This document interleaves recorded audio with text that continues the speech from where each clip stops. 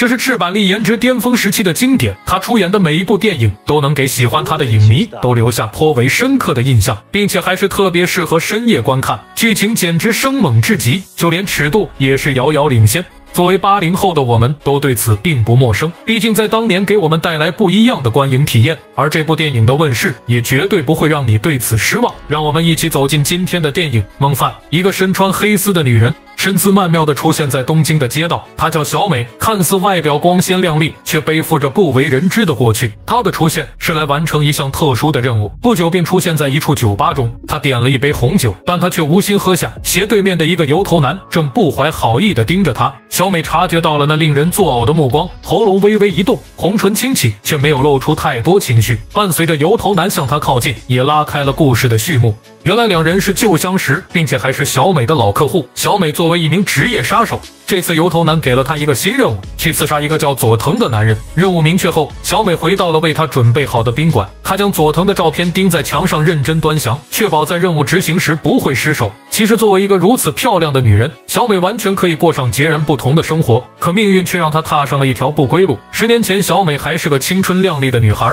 有一个深爱她的男友阿明，阿明是射击场的工作人员。然而一天夜里，小美被一群混混盯上，为了保护小美，阿明不顾一切冲上前去，却被混混们围殴致死。阿明的死让小美陷入深深的绝望，而她也被这群混混们带走。经过几个月的折磨与训练，彻底将她改造成了另一个人，被迫成为一名职业杀手。从那以后，小美每天都活在阴影里，她不再信任任何人，手枪成了她唯一的保护伞。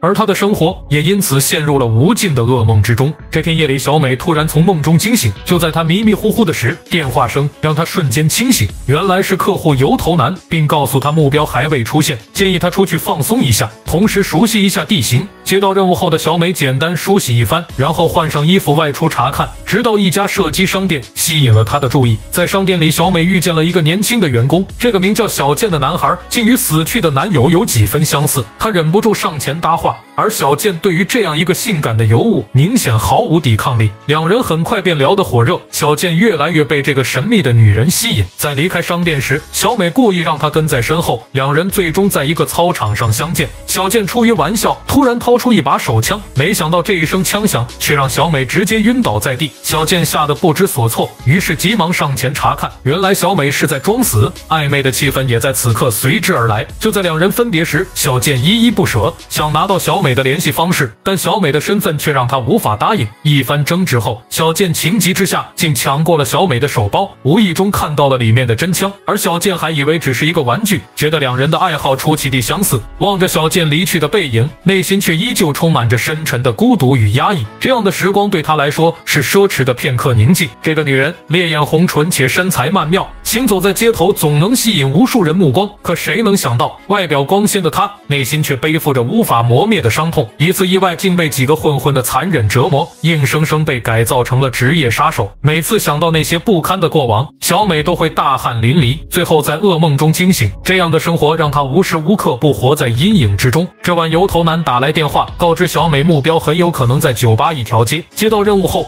小美便简单收拾了一下，迅速赶到指定地点。可来到地方后，酒吧的老板娘被她的美貌吸引，甚至主动上前搭话。两人寒暄了几句，还意外聊起了他们都喜欢的百合花。那短暂的温馨让小美冰冷的心稍稍放松。在告别老板娘后，小美走向街头的电话亭，摸出了一个写着号码的纸条。那是几天前一个叫小健的男孩留给她的联系方式。由于小健与自己死去的男友极为相似。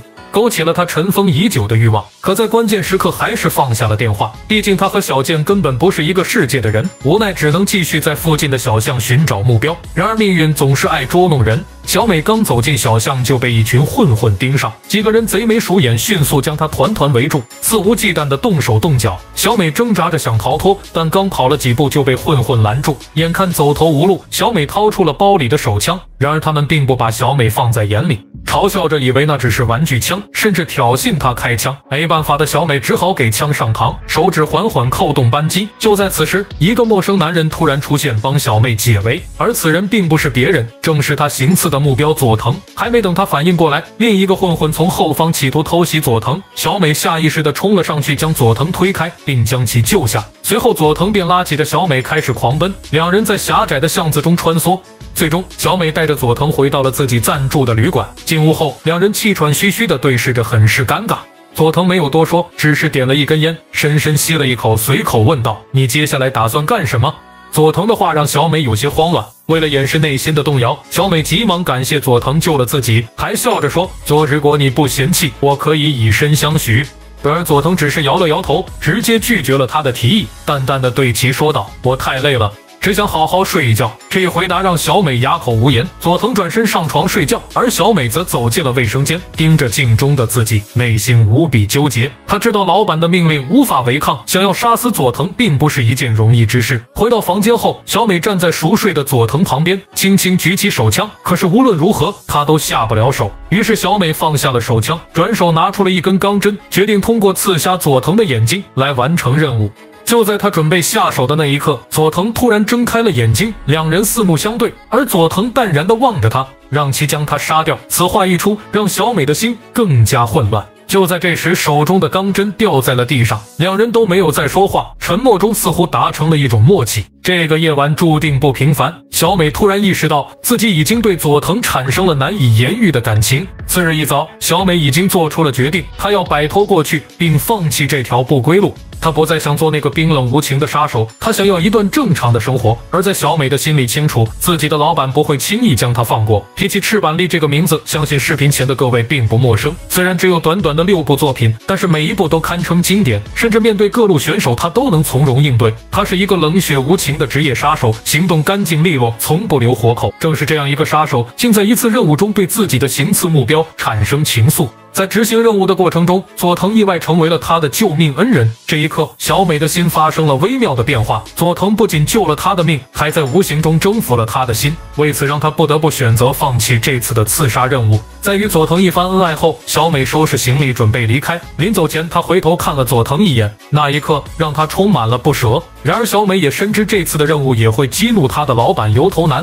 果然，在得知小美背叛他后，开始发动全力对其展开追杀。此时的小美并不知晓危险已经逼近，于是打电话给小健约定见面，打算与他道个别。然而，当他来到地下车库时，一种隐约的不安悄然袭来。下一秒，油头男带着杀气追了过来，还未下车便开枪击中了小美的腿部，让她应声倒地。随后拿走了小美的手枪，将她拖上了车。就在油头男得意忘形时，小美迅速掏出身上藏的钢针，一招致命，直插老板的咽喉。油头男当场毙命。此刻他腿部中弹，身体虚弱到了极点，并在车内发现了佐藤的尸体。这个他第一次真正敞开心扉去爱的男人，最终还是难逃一死。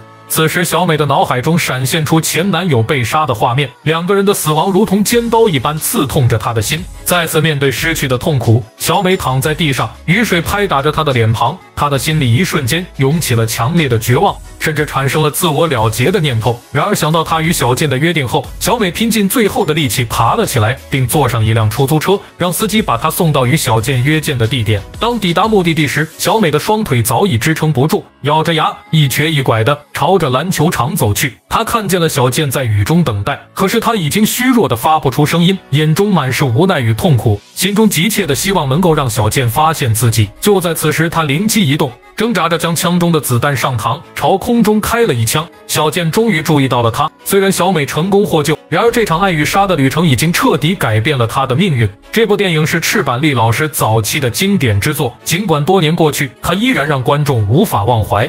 赤坂丽这位1962年出生的日本女演员，在银幕上的表现堪称传奇。她参演的作品虽不多，但每一部都深刻地展示了她的演技与魅力。在这部电影中，她不仅展现了杀手的冷酷无情，也让观众看到了一个饱含情感且内心挣扎的女人。